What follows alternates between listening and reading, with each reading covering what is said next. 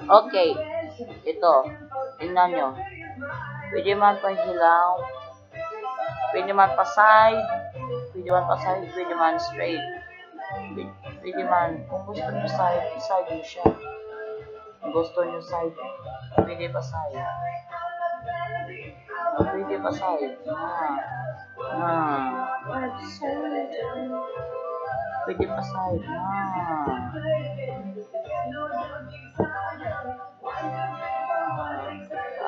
Ito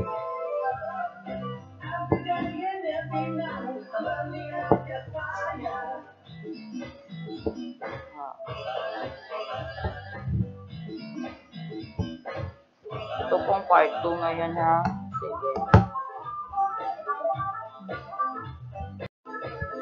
Bukusan natin at huwag kami lo.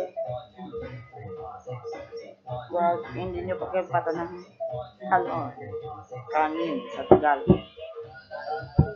Sa part 3 ko, makita nyo na paano magluto ng kalo-kalo. Bye.